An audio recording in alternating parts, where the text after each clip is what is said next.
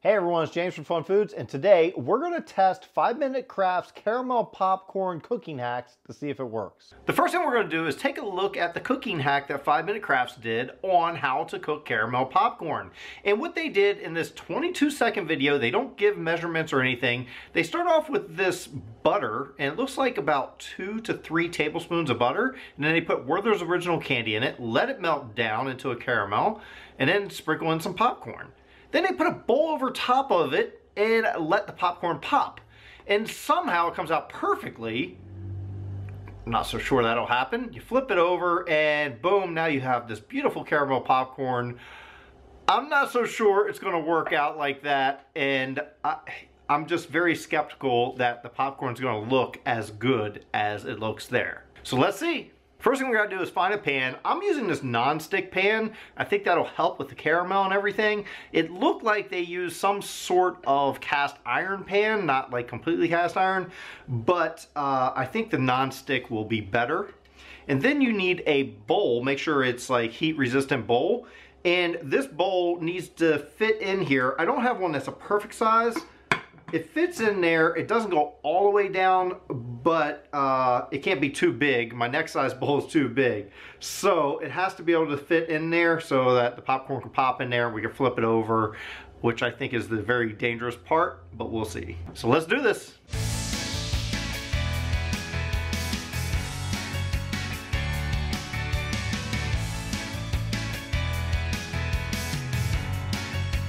It's starting to burn around the edges and that's what I was afraid of. So I'm kind of turning the pan and I'm going to mix it a little bit even though they don't mix it. Hopefully I can get that butter around there to help prevent it from burning. But I was nervous about this part. We just have to keep trying it because all the candy's not melted yet. So we have to keep going.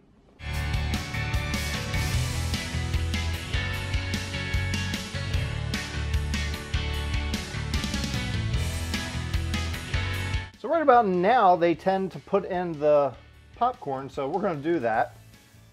We're gonna put in the popcorn, I'll put some more in there. And we'll see how it goes, a little bit more. And they put on a lid, carefully put this on. I don't know how it'll work. There we go. We'll wait for it to pop. It's starting to pop inside there just a little bit. It's also starting to spit a lot of grease everywhere, so be careful. Okay, I think we've reached maximum poppage, so let's turn off the heat. We'll set things up to flip it over. Now that I'm really nervous about. So now I have a large silicone mat here because I think it's gonna make a complete mess and I want the cleanup to be a little easier. So here we go. And as you see, um, it doesn't look very good. So I'm gonna put this here. We're gonna flip it over. I'm wearing a glove for extra protection. Try to flip it over quick and evenly.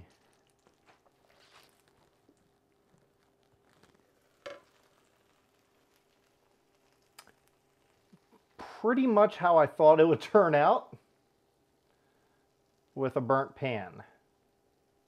To be fair, some of them look salvageable, but the ones around the edges, not so much. If you don't like the smell of burnt caramel, don't try this experiment at home. Um, it doesn't smell good. And be very careful about touching anything right now. What I'm going to do is try to pull out the ones that are salvageable, a little burnt, and uh, put that in a separate container just so we can kind of taste those to see if they taste good anyway. There's not much salvageable here, but we're going to do our best. Make sure you wear protection. Gloves. There you go. They're the salvageable ones. We're to let them cool down a bit, and then we'll taste them out and see how they taste. Now for the taste test, we're to do the salvageable ones, the ones I think might taste the best, giving it the best possible chance of it succeeding. So here we go.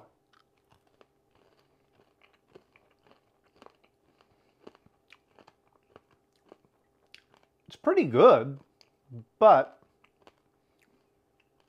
it still has a little bit of burnt taste to it. Overall, definitely would not recommend doing this method. Make the caramel separate and pour it on your popcorn that's already popped. Mix it in. That's the best way to do it, not this way. It's a fun gimmick, but that's what it is, a gimmick. It really doesn't work.